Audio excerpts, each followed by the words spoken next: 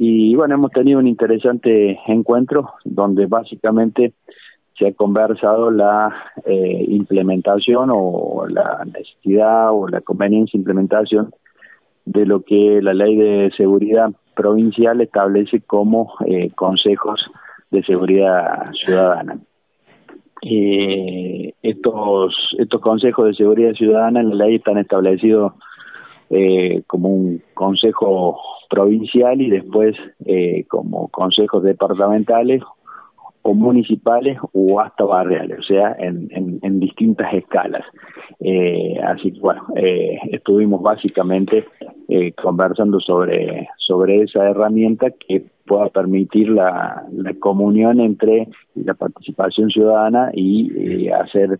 un nexo con las autoridades tanto municipales como gubernamentales y la, y la policía.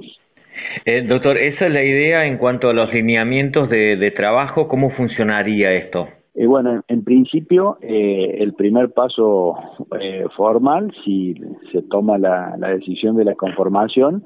es establecerlo por ordenanza y generar la figura o la firma de un convenio entre el municipio y el Ministerio de, de Seguridad. y bueno, a partir de allí, eh, hay que seguir los lineamientos de trabajo establecidos por, por la ley, que eh, básicamente consisten en que este consejo eh, tenga representación de las de todas las, las partes interesadas de una comunidad, de todas las instituciones eh, existentes en una comunidad, junto con la autoridad policial, eh, el municipio, la poca parte de justicia que puede haber de, aquí en la localidad, como puede ser el juzgado de paz, eh, a los efectos de allí eh, generar proyectos y, generar actividades de prevención sobre todo en cuanto a la en cuanto a la seguridad eh, esto en cierta forma es un reemplazo porque yo, yo lo pregunté de lo que en su momento fue la Junta de Participación Ciudadana. Claro, eso iba a preguntar, sí. Eh, sí, pregúntame, Roque. No, no, no, eh, justamente esa ah. era mi pregunta sobre el tema. Claro, eh, sí, básicamente es eso. Yo eh, hice hincapié en, que había existido eh, y se, bueno, se, se, tenía conocimiento y se recordaba esa situación,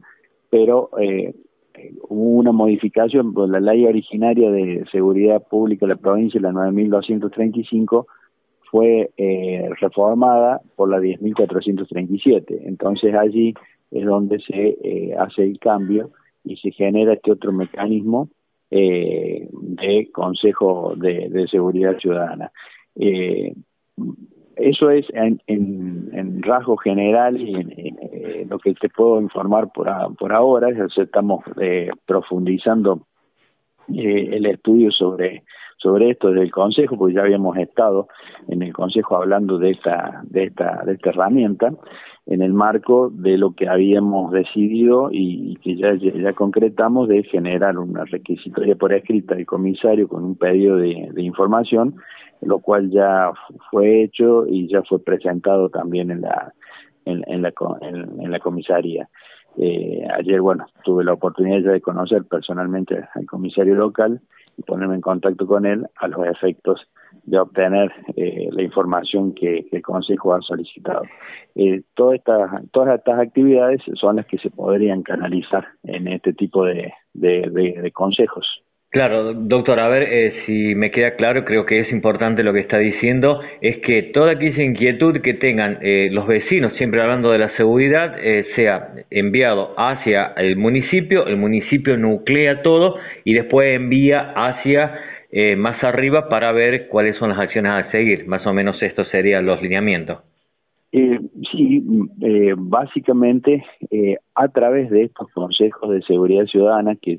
que lo que hay que definir es cómo, cómo se deberían, cómo se deberían armar, porque se pueden armar eh, en distintas escalas, como te decía al principio, se pueden armar consejos eh, barriales, sí, sí, sí. Eh, o bien se puede directamente armar un consejo municipal que integre a todos los barrios y a toda la, a toda la comunidad, y de allí, de, de, la deliberación de ese, de ese consejo, eh, pueden surgir eh, propuestas o proyectos que eh, después vehiculizados al Ministerio de Seguridad se puede buscar la aprobación o incluso la, ayuda con algún tipo de asistencia técnica o, económica. ¿Eso tiene que ser el Consejo primero para ser aprobado, doctor? O sea, más o menos está planteado que, es positivo. Eh, tiene que salir una autorización del consejo para que el intendente pueda formar estos consejos barriales.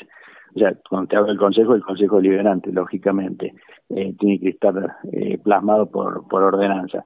Eh, así bueno, esto nos ha dado un poco más de claridad de, de, cómo es el mecanismo, porque si bien ya lo estábamos viendo a nivel del seno del Consejo eh, Deliberante, no, no teníamos claridad en cuanto al, a cómo era el método de funcionamiento. Esta reunión de ayer nos ha dado un poco más de, claridad sobre, sobre este aspecto y bueno, eh, los funcionarios provinciales eh, nos han manifestado que es un, instrumento que eh, bueno puede puede ayudar bastante a el tema de la prevención así que bueno tenemos toda la, la posibilidad de seguir pidiendo eh, asesoramientos y, cuestiones que tengamos dudas para eh, saber bien cómo, cómo conformarlos y cómo, cómo actuar después. Eh, Carlito, esto significaría, digamos, de que usted estaría un poco conforme, si bien falta mucho todavía, después de lo que nos ocurrió aquí en Vicuña Maquena y las dos marchas que los vecinos eh, hicieron y ustedes, ante la preocupación de los vecinos y el hecho ocurrido, eh, haya pronta respuesta de la provincia, ¿no? Porque hubo cambios de, de oficiales, cambio de, de, cúpula y ahora esta posibilidad, ¿usted creen que de alguna manera es una respuesta por ahora desde la provincia? Indudablemente, eh, lo dijo bien claro eh, el arquitecto Medina, de que bueno eh, el tema era era preocupante de lo que había sucedido aquí en, en Vicuña Maquena que no denotaba de las de, las estadísticas y de las de la información que tenía el ministerio eh, que, que en Maquena pudiese estar sucediendo este tipo de hechos pero bueno ante lo sucedido indudablemente que, que hay preocupación. Y eh, bueno, también hemos podido, eh, no quiero dejar de resaltar esto, hemos utilizado como vehículo para eh, enviarle una misiva eh, particular al ministro de Seguridad a los efectos de que si bien ya ha sido invitado a través del foro Intendente Radical y todo lo demás, lo hemos reiterado la invitación a, que concurra Vicuña Maquena eh, directamente de, parte del Intendente, o en su defecto, si la agenda no se lo permite o su actividad no se lo permite, la posibilidad de que nos conceda una audiencia para ir a Córdoba y poder hablar personalmente con el ministro y y focalizar un poco más todas estas políticas que el ministerio tiene, porque bueno, de acuerdo a la, información, es como que bueno, el ministerio tiene eh, distintos programas y distintas políticas que pueden ser útiles para, para una comunidad como, como Máquina. Así que también hemos tendido ese puente en el día de ayer a los efectos de que ante la primera oportunidad de que se pueda viajar a, el Ejecutivo pueda viajar a Córdoba, eh, pueda tener la posibilidad de reunirse con, con el ministro de Seguridad. Eh, Carlito, la última pregunta, si es que eh, usted tiene alguna información o el Ejecutivo tiene alguna información, ¿cómo viene la causa sobre lo que ocurrió con el sacerdote el padre Coqui? Bueno, de lo, o sea, puntualmente prácticamente no se habló del tema, pero sí la única precisión que la policía dejó al respecto es que toda la parte de instrucción sumaria que a ellos le corresponde, de investigación y de recolección de pruebas eh, de parte de la policía está todo completada y está todo ya en manos de, la fiscalía que lógicamente la policía como auxiliar de la justicia ante cualquier requerimiento de alguna prueba adicional o alguna diligencia eh, particular que le sea requerida por la fiscalía lo, lo, va lo va a hacer